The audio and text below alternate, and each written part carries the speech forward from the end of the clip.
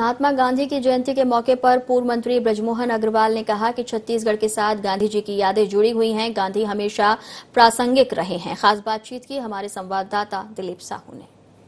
महात्मा गांधी की 150वीं जयंती के अवसर पर आज विधानसभा में विशेष सत्र का आयोजन किया गया। इस पर इस इस समय विभिन्न प्रकार के आयोजन किए जा रहे हैं। हमारे साथ पूर्व मंत्री और विधायक ब्रिजमोहन अग्रवाल जी हैं। इनसे जानना चाहेंगे ये जो आयोजन है विशेष रूप में इसको किस तौर से देखिए ये हम सबका सौभाग्य है कि गांधी जी के 150वीं जयंती के हम भागीदार बन रहे हैं, हम साक्षात बन रहे हैं और छत्तीसगढ़ की विधानसभा में आयोजन किया गया है।